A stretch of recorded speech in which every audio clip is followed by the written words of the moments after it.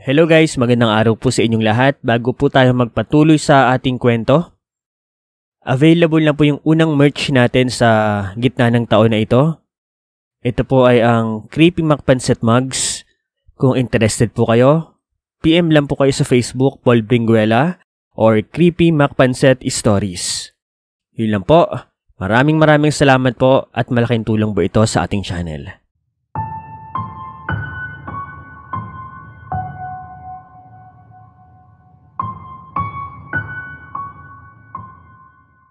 Good evening po sa inyo. Ako po si Maribel. Ang ibabahagi ko po ay personal experience po ng aking ate. Ito ay nangyari sa probinsya po ng Romblon, taong 2000. Yung ate ko po, buntis po noon ng limang buwan sa bunso niya. Ako yung kasakasama niya sa bahay dahil stay in sa trabaho yung asawa niya. Noon po, usong-uso pa yung ipapahilot ng tiyan ng buntis. Nakalimutan ko na nga kung para saan yun. Basta, kailangan daw yun. Hetong si ate, merong siyang nakausap na manghihilot. Hindi niya yun kilala. Nakausap niya lang daw sa palengke nung namili kami. Yung dati kasi niyang manghihilot, patay na. Nung araw din na yun, sinama namin ang babae sa bahay. Pinagkapilang muna namin. Wala naman kasing dalang gamit panghilit yung babae. Basta nagpakilala lang po siya sa amin. Siya raw si Berna. Mas matanda lang yata lang konti sa ate ko. Ang dami nilang pinag-usapan ni ate. Parang close na agad sila. Ang sabi ni Berna, gabi na raw siya babalik para manghilot. Marami daw kasi siyang hinihilot sa umaga at tanghali. Kumaig naman yung ate ko. Lumipas po yung mga oras. Alas 7, lumating na po si Berna sa amin. Noong una, sa sala sana sila maghihilutan pero ang sabi ni Berna, kung pwede raw sa kwarto na lang. Umayag naman si ate. Eh ako po noon, nasa kusina, nagluluto, kaya hindi ko sila nakikita. Noong mga sandaling yon, hindi ko po alam kung bakit parang kinabahan ako. Hindi ako mapakali. Pakiramdam ko kasi parang may mali. Hininto ko muna yung niluluto ko. Pinuntahan ko ang kwarto ni ate Nakasarado ang pintuan. Kaya dinikot ko na lang po yung tenga ko sa pinto. Nagtataka ako noon. Hindi ko na kasi naririnig si ate na nagsasalita. Tapos yung rinig ko doon, parang asong galit. Ganun na ganun. Kinabahan na ako kaya lumabas ako ng bahay. Kinuha ko yung hagdanan at sinilip ko sa bintana kung ano yung nangyayari. Pagtingin ko, nakita ko po si Berna na Parang binubulungan yung tiyan ni ate. Napansin ko rin na parang yung mga kuko niya, parang dalawang pulgada na po yung haba. Sinigawan ko si Berna. Nagulat pa siya sa ginawa ko. Ako noon, nagsisigaw ko sa mga kapitbahay. Tuon na siya nataranta. Kahit alam kong pwede ako mapahamak, pumasok ako sa kwarto. Binasag ko yung salamin ng bintana. Tapos kinuha ko po yung bubog Natakot si Berna. Tumakbo siya palapas ng bahay namin. Si ate naman po, tulog pa rin ng mga sandaling yon. Para at ang pinatulog siya ni Berma. Nakita pa ng mga kapitbahay yung pagtakbo ni Berma. Isa sa mga kalapit namin bahay ay nagsabi na si Berna raw mukhang aswang. Siguro nga aswang siya. Nagpapanggap lang ng manghihilot para makapangbiktima. Bandang alas 10 po, nagising na rin po ang ate. Kinuwento ko nga sa kanya lahat na nangyari. May mga barangay na doon. May mga kapitbahay na rin doon sa bahay namin. Minabantayan kami. Kakarating lang din ng asawa niya. Yung ate ko naman biglang bigla. Pero swerte pa rin siya. Todo pasalamat nga sa akin kasi kung hindi raw dahil sa akin, malamang hindi sila nakaligtas ng anak niya. Manigurado kasi, mayayari sila nung Berma na yon. Doon sa Berma na yon, nawalan po kami ng balita. Ang sabi-sabi doon sa lugar na yon, bagong lipat lang daw si Berna. Parang kasabay ng pagkamatay ng dating manghihilot ni ate. Siya naman po yung pumalit. Ganon. Hindi ko alam kung may koneksyon pero ang sigurado lang po kami. Si Berma, isang aswang.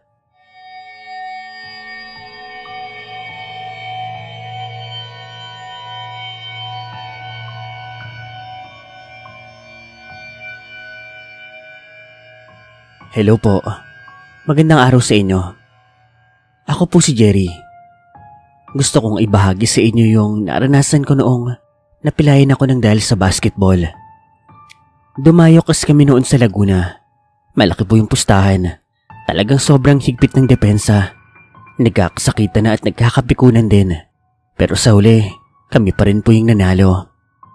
Hindi naman sa pagmamayabang, pero di hamak po na mas magagaling kami sa kanila. Ang lalaki nga nila eh. Kami yung sentro lang namin yung malaki. Tapos kami mga average height lang. Eh yung mga kalaban namin, hindi nila matanggap na natalo sila. Napilayan niya ako sa paa bago matapos yung oras eh. Sobrang namangga yung paa ko. Halos hindi ako makalakad. Ang sabi ng coach namin, mas maganda raw na mahilot ka agad kasi parang na-dislocate yung buto ko sa paa. Doon sa mismong lugar na iyon, naghanap kami ng manghihilot. May natagpuan naman kaming isang lola Maputi na po yung buhok pero halatang malakas pa rin. Sobrang sakit nga nang hilutin yung paa ko. Medyo naiilang pa nga ako nun kasi parang nanlilisik po yung paa niya. Parang nagigigil po siya sa paa ko.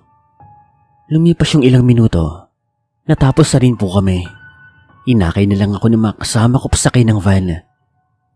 Ilang araw matapos kong mapilayan, para pong mas lumalayo nangyari sa akin. Hindi ko na maramdaman yung pilay. Ang pakiramdam ko na lang, parang kumikirot yung mga laman ko doon. Parang may kung anong gumagalaw. Nung hindi ko na kinaya ang sakit, nagpa-check up na ako sa doktor. Yung doktor ay nabigla nga kasi yung nakita nila sa paa ko, yung laman, nabubulok na raw. May mga uod daw na pumapapak na mga laman. Ang sabi ng doktor, dahil daw yun sa dumi. Nagtaka nga ako kasi Palagi naman pong malinis yung paa ko. Mas malinis pa ngayon pa ako sa pagkatao ng tatay ko eh. Kaya talagang takang-taka ko noon. Umuwi na mula ako ng bahay. Nangingitim yung paa ko noon. Pero hindi naman po namamaga. Hindi ko lang talaga mailakad kasi lailay na po yon. Kinabukasan, nag-decide na ako na ipatanggal na lang yung paa ko. Iba na kasi yung pakaramdam ko noon.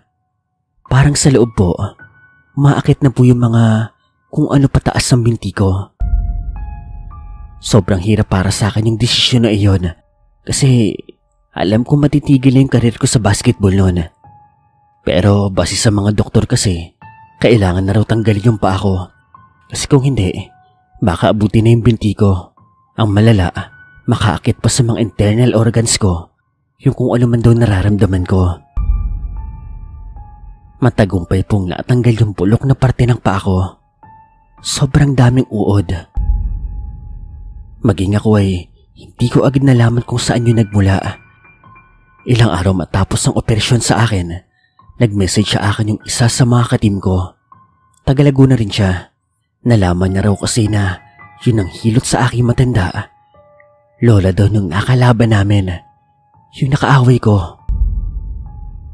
Ang sabi ng teammate ko, yung matanda daw na yon Dati na doon na issue doon sa lugar nila na isa raw mambabarang. At yun yung naging pasihan namin para isiping binarang ako ng matanda. Parang dinaan na lang yung orasyon niya sa panghilot na yon. Ang pinagpasalamat ko po sa Diyos na agapan namin. Kasi kung hindi, baka raw inuod na pati yung buong katawan ko. Base rin kasi sa ka-teammate ko. Dati raw, meron nang namatay na kaaway yon. Grabe raw talaga yung mambabarang na yon. May malas sa demonyo.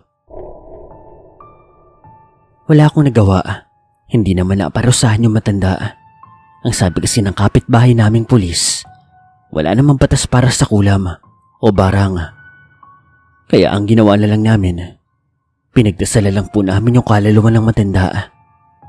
At dahil wala na ngayong isa kong paa, hindi na po ako nakalaro ng basketball. Nakakapanghinayang lang.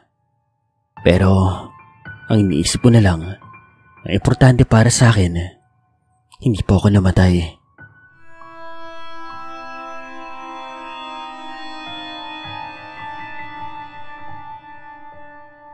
Hindi ako sigurado kung considered as horror itong karanasan ko. Pero, ibabahagi ko pa rin. Share ko na lang. Ako po si Bernard. Year 2015, meron akong nakilalang babae. Tawagin na lang po natin siyang Christina.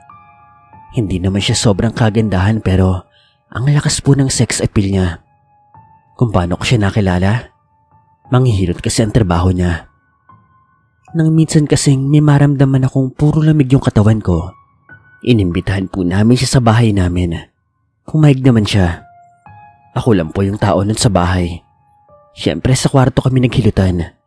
At habang hinihilot niya ako, ewan ko pero parang bigla po akong nabighani sa kagandahan niya. Parang walang ibang natakbo sa utak ko, kundi yung mukha niya lang. Sobrang sarap ng hilot ni Christina. Dumating na sa puntong nakatulog na ako. Pagising ko na lang, wala na siya. Pagbasa ko nga sa text niya, ang sabi niya, hindi niya na raw ako ginising para makapagpahinga pa raw ako. At mula nang matikman ko ang hilot niya, parang lagi ko nang hinahanap-hanap. Minsan nga, wala naman akong ipapahilot pero ipapahilot pa rin ako. Nalalamog na nga yung katawan ko noon pero okay lang. Ang mahalaga lang sa akin, makita ko siya at makasama. Isang gabi, nagpahilot ako ulit sa kanya. Napakasarap nga ng hilot na yon. Napakasarap. Talagang hagod na hagod yung buo kong katawan. Pinahubad na nga niya ako noon. Para ako nababalo noon. Init ni init yung katawan ko. Hindi ko alam kung ano na ang nararamdaman ko. Basta nung makita ko siyang gumagapang na, tuluyan akong nawala sa sarili. Ang mga sumunod kasing nangyari, ay puro halinhin na lang yung naririnig ko. Parang narating ko na po yung langit sa naranasan ko. Makalipas ang halos isang oras, nakita ko pa yung mukha ni Christine ang nakangiti. Nakatulog ako sa sobrang sarap at pagod at paggising ko, dito ko na po napagtanto na imbis sa langit, impyerno pala ang narating ko. Natuklasan ko kasi na doon sa drawer ko nawala po yung mga inipon kong pera. Lahat ng mga koleksyon kong alahas nawala rin. As in simot lahat ng mahalagang bagay sa akin, kahit mga papeles ko sa trabaho.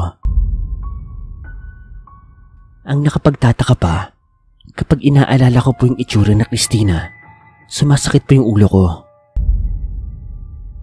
Pigmukha ko noon. Muntikan pa ako mabaliw kasi gabi-gabi na lang nakikita ko sa panaginip yung mukha ni Christina. Kaya gabi-gabi rin, sumasakit ang ulo ko. Gago nga siya eh. Miski sa panaginip ko, nakangiti pa siya. Parang papatayin niya ako sa nakakatakot niyang tingin. Sinubukan ko ang balikan siya doon sa massage parlor nila. Pero ang sabi nila, hindi na raw pumapasok doon si Christina. Kasabay nung gabing pagnakaw niya ng mga gamit ko. Sinabi ko naman yung ginawa niya doon sa pinagtatrabahuhan niya. Kaya yun, naban, Pinuntahan ko nga rin yung tinuro nilang bahay ng babaeng yon. Kaso, wala na rin siya doon. Wala akong ideya kung ano nangyari sa akin. Ang sabi nga ng iba, nabudol daw ako. Pero hindi eh. Palagay ko, iba yung nangyari sa akin. Parang may kapangyarihang itim si Christina. Ewan ko, basta ganun po yung pakaramdam ko. Pero kayo ba? Palagay nyo, alam nyo ba yon? Butol nga ba? O may isa demonyo lang talaga yung babaeng yon? Hay.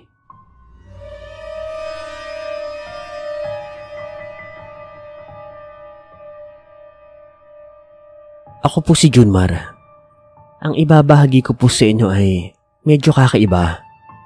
Hindi ko alam kung meron bang maniniwala rito pero ibabahagi ko pa rin. Taga-kapis ako noon. Tumigil ako sa pag-aaral dahil sa kapatid ko may kapansanan. Sa katunayan, hindi talaga kami magkapatid. Anak siya ni mama sa una niyang asawa. Tapos ako naman, ampun lang. Yung tunay ko kasi magulang, kumari niya. Ako na po yung nag-aalaga sa kuya ko si Janrel. Ang hirap ng buhay namin noon. Isolated pa kasi yung lugar namin. Yung susunod na kapitbahay, ilang puno pa ang lalagpasan mo. Yung kuya kong si Janrel, may hina po yung mga buto. Yun yung dahilan kung bakit hindi siya makatayo. Kaya madalas, dapat meron nag-aasikaso sa kanya. Yung nanay ko naman, gabi na po palaging umuwi ng bahay. Palagi kasi siya nagtitinda sa palengke. Yung tinuturing naman naming tatay, ganun din, karagidor sa pera. Isang araw, habang inaasikaso ko si kuya, sa labas po namin, may tumatawag pong dalawang babae. Kasing edad yata nila si mama. Nag-alok sila ng hilot. Baka raw kasi sakaling makatulong sa kuya ko. Ayaw ko sana noon. Pero si kuya, siya na mismo yung nagdesisyon. Pinapasok ko yung dalawang babae. Sinimulan po nilang hilutin yung binti ni kuya. Ganon din yung braso niya. Umabot nga po yata sa dalawang oras yung paghihilot. Marami kasing ginagawa. May mga pinapahid din akong ano-ano. Matapos nun, umalis na rin po yung dalawang babae. Ang sabi nga ni kuya, guminhawa daw yung pakaramdam niya. Pagdating nila mama, nagulat sila kasi si kuya bigla pong nakakatayo na. Wala pang isang araw pero ganun na kaagad yung epekto sa kanya. Para sa amin, isang malaking himala yung ginawang hilot sa kanya. Sobrang saya namin noon. Mula kasi pagkabata, baldado na talaga si Kuya Janrel. Kitang kita ko na labis yung tuwa sa mukha ng kuya ko. Makalipas ang ilang araw, tuloy nang nakakalakad si kuya. Nakakatakbo na nga rin. Nakakatulong na rin siya sa gawaing bahay namin. Sa mga nagdaang buwan, naging maganda takbo ng buhay ni kuya. Umaasa kami na yun ay simula na magiging magandang buhay namin. Isang gabi, pag uwi namin, napansin namin na parang ang dilim po ng bahay. Nakapatay yung mga gasera. Pagpasok namin, sinindihan namin kaagad. At ang sa amin, si Kuya Janrel. Nakaupo sa upuan. Tapos, butot balat na lang. Tuyong-tuyo yung katawan. Para bang wala na pong laman at dugo. Nakakakilabot yung itsuri ni kuya noon. Nakakatakot. Nanagip nga yung dibdib ng nanay ko. Sinuri naman ni Papa si Kuya Janel kung may sugat pero wala naman daw. Basta, bigla na lang po siya naging ganoon. Sa kaliwang kami ni Kuya, meron pong nakasulat. Ang nakalagay doon, meron daw dalawang babaeng bumalik sa bahay. Sinisingil daw siya sa utang niya. At nang wala daw siyang maibayad, hinawakan daw siya sa ulo. Nang makaramdam daw siya ng pagkahilo, sinulatan niya na raw yung palad niya. Umupo sa upuan at doon, binawian ng buhay. Dahil malayo po yung ospital sa amin, albularyo po ang tinawag nila mama. Ang sabi naman ng albularyo, hindi raw totoong manghihilot yung nakausap namin ni kuya. Yung dalawang babae daw na yon, parang mga uri ng engkanto. Makapangyarihan daw yung uri ng engkantong yon. Kayang tumapad ng kahit na anong kahilingan. Pero may kapalit daw ito. Kung hindi salapi, ari-arian, hayop o kung anong material na bagay, ang kinakuha daw nila, kaluluwa ng tao. Hindi ko alam kung maniniwala ako noon. Pero ang alam ko lang noon, wala na po sa amin si Kuya Janrel. Dahil po sa nangyari, napilitan kaming lumipat nila mama. Natakot kami na baka balikan kami ng dalawang babae. Awang-awa kami kay Kuya Janrel noon kasi wala man lang kaming nagawa para ipaglaban siya. Ang sabi pa ng albularyo, baka daw yung kaluluwa ni Kuya Janrel nandun na sa lugar ng mga engkanto. Ang sabi pa nga niya, baka raw nasa biringan na yung kaluluwa ni Kuya Janrel.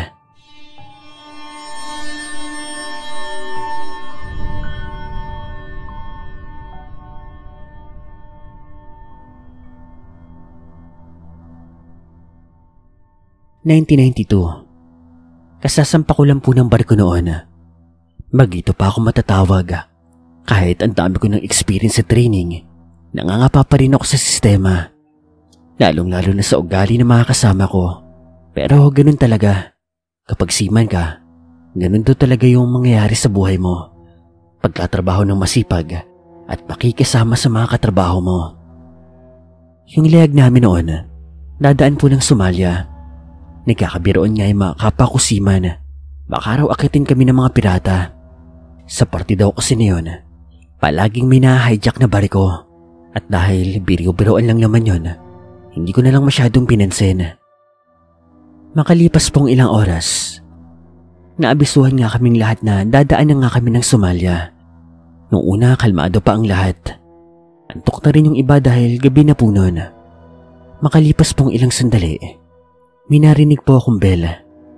Naalarma naman ako kasi yung bell na yon, pinapatugtog lang kapag may emergency. Kaya mula sa kwarto ko, pumunta po ako ng deck at pagtanaw ko sa karagatan, may mga nakita kaming mga bangka. Mabibilis po yung bangka nila. Kayang pantayin yung bilis ng barko namin. Noong mga sandaling yon, alam na agad namin na mga pirata yon. Yung biruan ng mga kasama ko, nagkatotoo. Yung kaninang tawanan, napalitan po ng mga kaba. Dahil bagito pa lang ako noon, hindi ko alam yung gagawin ko. Nakalimutan ko ang lahat ng ginawa ko sa training. Kabado na ako eh. Takot na takot na rin ako. Pero makalipas lang po yung ilang sandali, nagawa kaming akitin ng mga kung ano mang yon. Hindi ko na po nakita yung pag-akyat. Kasi ako, nagtago na po sa kwarto ko. Ang dami ko pong naririnig sa labas. Pero, minabuti kong magtago na lang. Ayoko madamay. Alam ko may mga nasaktan na. Lumipas po yung mga sandali Tumahimik po yung paligid. Sinubukan kong lumabas. Sinilip ko po yung labas ng bariko. Pagtingin ko, nagtaka ako. Kasi parang wala naman pong kaguluhan na nangyari. May nakasalubong akong kasamahan ko. Tinanong pa nga ako kung bakit daw gising pa ako. Dapat daw magpahinga na ako kasi malapit na raw kami dumaong. Bukas sa bukas daw eh. Bising-busy na ang lahat. Tinanong ko naman siya sabi ko, Kuya, nasaan po yung mga pirata? Nabatukan pa nga ako ng kasamahan ko. Anong pirata pinagsasabi mo? Nako, itulog mo na lang yan. Huwag ka kasi nakikinig sa kanila. Puro pirata na lang yung biroan eh. Ayan tuloy. Baka napapaniginipan mo pa. Hayop. Wala naman daw nangyari. Walang pirata. Walang bell. Walang mga kaguluhan. Pinuntahan ko pa yung iba kong kasamahan. Yung iba, mga nagiinom. Niyaya pa nga ako ng shit eh. Sabi ko, nasan ka ako yung mga pirata? Yung mga gago. Pinagtawanan lang ako. Bumalik ako sa kwarto ko. Imposible ka akong panaginip yun. Kasi, totoo eh. Nakita ko yung mga bangka. Narinig ko yung alarm. Yung pawis ko nga, hindi pa natutuyo. Yung dibdib ko, hindi pa rin tumitigil sa pagtibok. Hindi ko alam kung panaginip yon. Pero sa mga nagdaang pang-araw, minalaman akong kwento. Base yun sa kapitan namin. Ang sabi niya, yung barko daw na gamit namin. Dati raw na hinajak na ng mga pirata doon sa Somalia. Nakaakit to yung mga pirata. Maraming nanakaw, limas lahat. Ang malala, may walo raw na namatay na seaman dahil doon, pinagpalagay ko na lang na nagparamdam lang yung mga sima na yon. Ewan ko. Kasi sigurado ako, hindi pa naghinip yon. Alam ko, nakita ko yung mga nangyari sa dating pag-atake ng mga pirata.